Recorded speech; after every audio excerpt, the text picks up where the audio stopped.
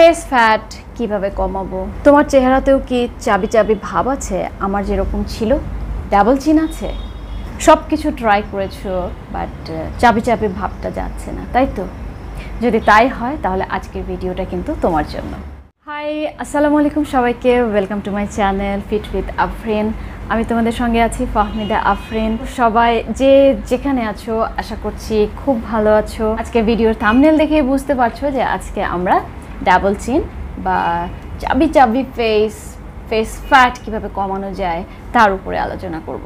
যদি এই সমস্যা ফেস করে থাকো, তাহলে আমি বলব যে ভিডিওটা প্রথম থেকে শেষ পর্যন্ত দেখো। অনেক ইম্পর্ট্যান্ট ইম্পর্ট্যান্ট আলোচনা আসবে। কোনো একটা তোমার সঙ্গে খাপ খেয়ে যেতেও পারে।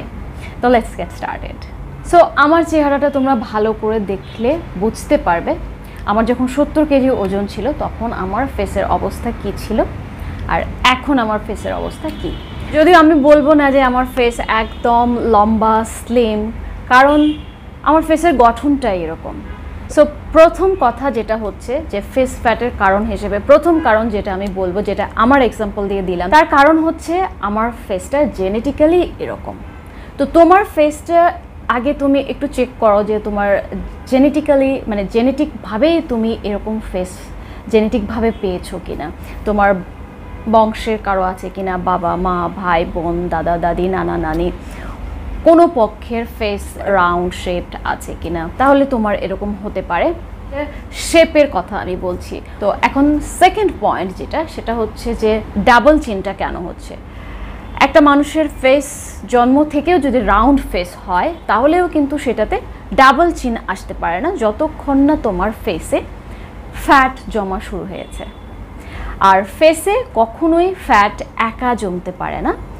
অবশ্যই তোমার বডির অন্যান্য পার্টসেও ফ্যাট আছে। তুমি হয়তো বা খেয়াল করছ না কিংবা চাচ্ছ যে যেহেতু এটাই একটু চোখের সামনে বেশি আসে ফেসটা আমাদের চোখের সামনে বেশি আসে, তো ফেস ফ্যাটটা দূর করলে মেবি আমার সব সমাজ সমস্যার সমাধান হয়ে যায়। এটা হয়তো বা তুমি ভাবছ। বাট আমি বলব যে এই দু হাজার তেইশ সালে এসে এরকম বোকামি করো না যে কোনো একটা নির্দিষ্ট জায়গার ফ্যাট আমি দূর করতে পারব। তুমি চাইলেও ফেসের ফ্যাট দূর করতে পারবে না, চাইলেও হাতের ফ্যাট দূর করতে পারবে না ব্রেস্ট ফ্যাট দূর করতে পারবে না ব্যাক ফ্যাট দূর করতে পারবে না লেগ ফ্যাট কোনো কিছুই তুমি দূর করতে পারবে না। যতক্ষণ না তুমি একটা প্রপার হেলদি ডায়েট মেনটেন করছ এবং যতক্ষণ না তুমি all over body fat percentage কমিয়ে আনছো।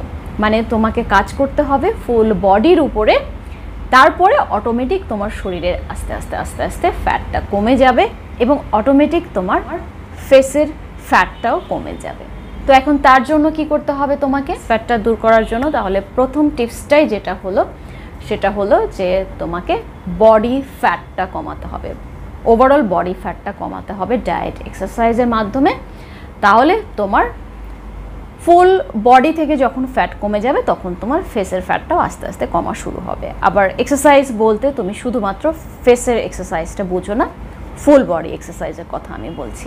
কারণ আমাদের বডিতে যখন ফ্যাটটা জমা হয়, এই ফ্যাট জমার একটা রোলস আছে। রোলসটা হচ্ছে প্রথমেই তোমার লিভার এরিয়ার দিকে জমা হবে, এরপরে তোমার টামি এরিয়ার দিকে হবে।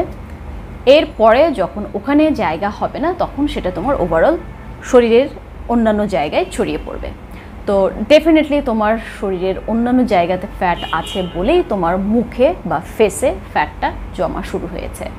এটা তুমি মানো বা না মানো তোমাকে মানতে হবে এবং ওভারঅল বডির ফ্যাটটা কমানোর তোমার চেষ্টা করতে হবে।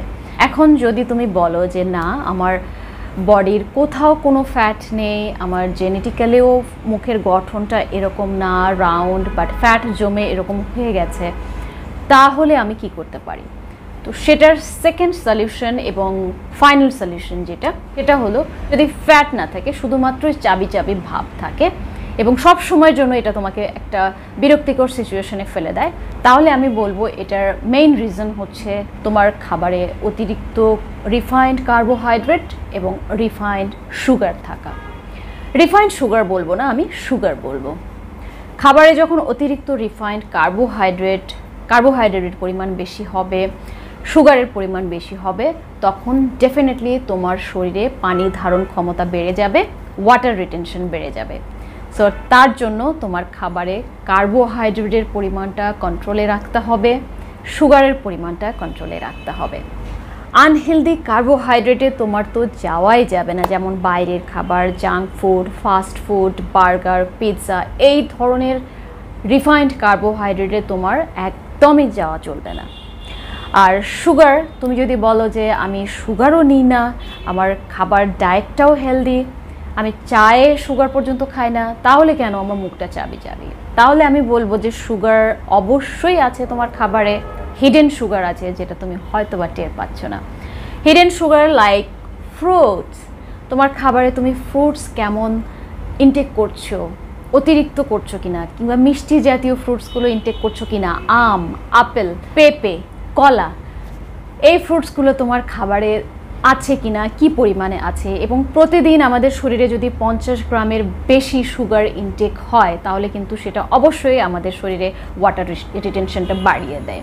সো তুমি দেখো তোমার খাবারে এই খাবারগুলো, এই ফ্রুটসগুলো ইনক্লুড করা আছে কি না হ্যাঁ কারণ সুগার ইজ সুগার তোমার শরীর কিন্তু বোঝে না যেটা এই সুগারটা, এই মিষ্টিটা কোথা থেকে আসছে? ফ্রুট থেকে আসছে, নাকি কার্বোহাইড্রেট থেকে আসছে, ভাত থেকে আসছে, নাকি রুটি থেকে আসছে, পিৎজা, বার্গার কোথা থেকে আসছে?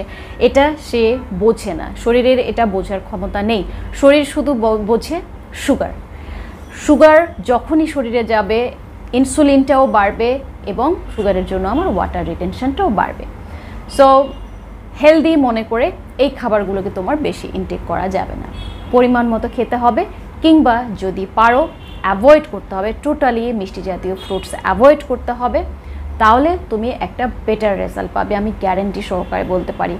কারণ মেয়ে, যখনই তোমার খাবার থেকে সুগারটা কাট করে ফেলবে, সব ধরনের সুগার কাট করে দেখবে, তুমি কিছুদিন পরে, দু চার পাঁচ দিন পরে তোমার ফেস তোমার বডির কন্ডিশনটা দেখবে অনেকটা হালকা ফিল হবে এবং অনেকটা ওয়েট লস হয়েছে তোমার মনে হবে। কারণ কারণ তোমার শরীরে সুগার নেই এবং তোমার শরীরে ওয়াটার রিটেনশনটাও হয়নি। সো এর জন্য কি করতে পারো? এর জন্য তোমাকে করতে হবে ফ্রুটসগুলো অ্যাভয়েড করে তোমার খাবারে ভেজিটেবলস বেশি বেশি অ্যাড করতে হবে। ভেজিটেবলস বেশি বেশি অ্যাড করলে তোমার কার্বোহাইড্রেটটা কন্ট্রোল হচ্ছে, তোমার ফাইবার পাচ্ছ সেখান থেকে এবং আদার্স যে মাইক্রোনিউট্রিয়েন্টসগুলো আছে, সেগুলোর ঘাটতিও পূরণ হবে এবং সঙ্গে সঙ্গে তোমার শরীর কিন্তু অনেকটা হালকা ফিল হবে এবং চাবি চাবি ভাব বা ডাবল চিন ভাব যেটা ওয়াটার রিটেনশনের জন্য হয়, সেটা কিন্তু একদম দূর হয়ে যাবে। সো খাবার থেকে কার্বোহাইড্রেট রিফাইন্ড কার্বোহাইড্রেট সুগার এই সব কিছু তোমাকে কিন্তু বাদ দিতে হবে। সো আশা করছি যে তোমাদের সমস্যার সমাধান তোমরা পেয়ে যাবে এবং এটা মেনটেন করে দেখো, অনেক ভালো একটা রেজাল্ট পাবে। দেখা হবে নেক্সট ভিডিওতে ততদিন পর্যন্ত সবাই ভালো থেকো। টেক কেয়ার আল্লাহ হাফেজ।